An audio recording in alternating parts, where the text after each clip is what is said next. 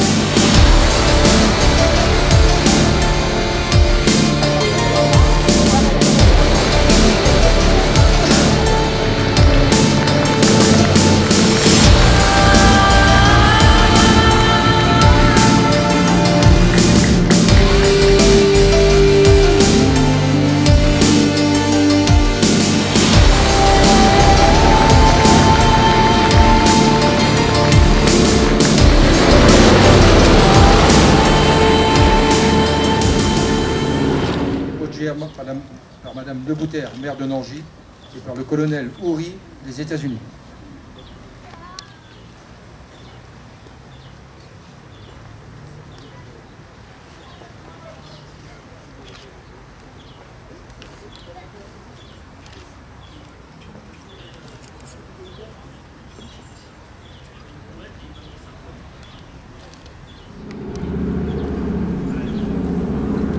Au